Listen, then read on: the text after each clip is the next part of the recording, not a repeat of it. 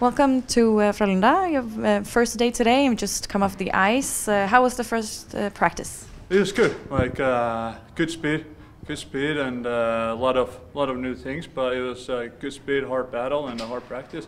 I, I liked every second. So you've signed for one season with uh, Frölunda. Um, why did you choose uh, Frölunda? Uh, I, first of all, I heard it's a great city and great team, and uh, yeah, that was that was big thing for me. You know, like get getting the top team in the top like a very good league, and uh, you know it's it's a place where I feel like I can improve my game too, like development, and uh, that way help the team team win games too.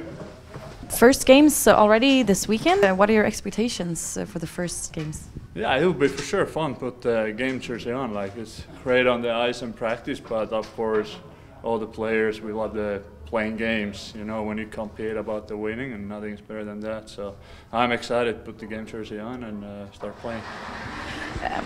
What are you looking forward to the most this for this upcoming season?